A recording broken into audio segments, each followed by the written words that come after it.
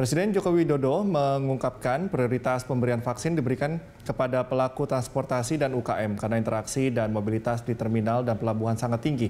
Vaksin diberikan kepada seribu pelaku transportasi untuk mencegah penyebaran virus corona.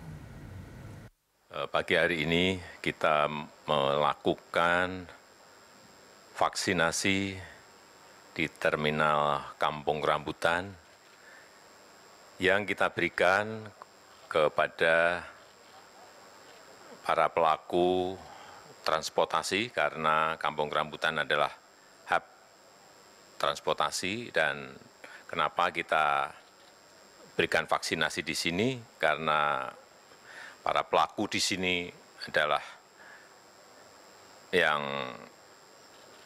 interaksinya sangat tinggi dengan masyarakat kemudian mobilitas keluar kota juga sangat tinggi sehingga kita berikan prioritas dan kita harapkan dari kurang lebih seribu pada hari ini yang divaksinasi ini akan memberikan perlindungan terhadap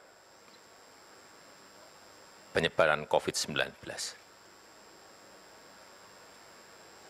Para pelaku yang divaksin baik sopir baik